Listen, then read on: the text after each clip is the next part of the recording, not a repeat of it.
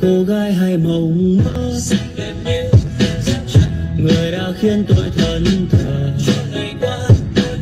Cho tôi nhung nhớ bao nhiêu muốn nói với em, bao điều rằng tôi đã thương em nhiều. Chẳng giống mấy cô người mẫu. Chẳng son phấn tô sắc màu. Chỉ cao một mét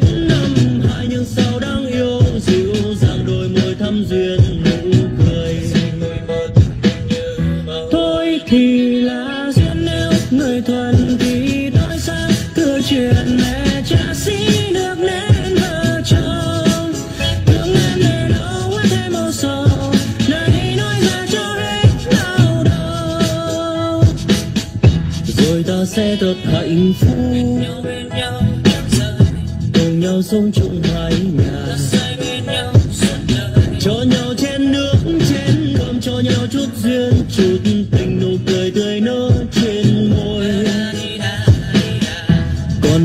chi người hỡi.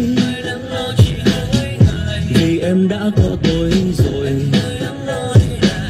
Em chỉ cần sống yên, vui thế giới có tôi lo rồi. Ta bên nhau mãi không xa rời.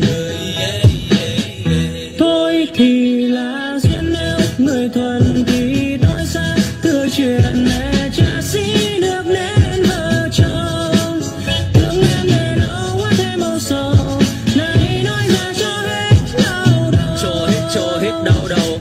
baby nghe này Em là cô gái mộng mơ Xinh đẹp duyên dáng để cho anh ngẩn ngơ. Bao nhiêu năm rồi vì vương mối tình tơ Đêm ôm nỗi niềm đau thức viết cho em vần thơ. Vì anh dắt lưu em mất rồi mà em Vẫn vô tư vậy thôi Vẫn không muốn chung đôi. Chẳng để ý đến tôi Để sau bao năm chờ đợi Anh ấy giờ vào đơn côi. Nói với anh chỉ một lời rằng sẽ bên anh đến trọn đời. Trước giờ anh vẫn quen với cô đơn